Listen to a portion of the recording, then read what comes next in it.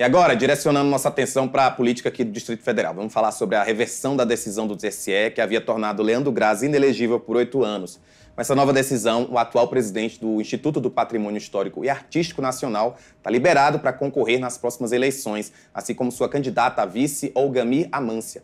O julgamento ocorreu na sessão plenária do TSE ontem. A corte analisou o recurso que Graça protocolou sobre a sentença do Tribunal Regional Eleitoral aqui do DF, que em março deste ano o tornou inelegível após uso abusivo dos meios de comunicação.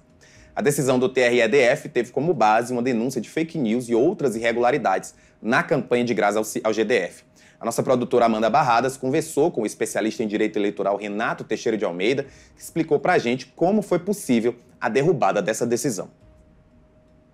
Em direito eleitoral, a última palavra é sempre dada pelo Tribunal Superior Eleitoral.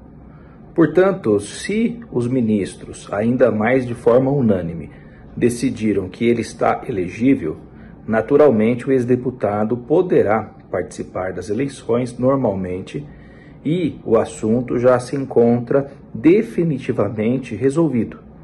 Então, o tribunal, que é o órgão de recurso para esse tipo de situação, entendeu que o ex-deputado não praticou fake news esse é o entendimento que vai prevalecer, então, naturalmente, ele está apto para participar de futuras eh, eleições, diferentemente do que acontece, por exemplo, no caso do Bolsonaro.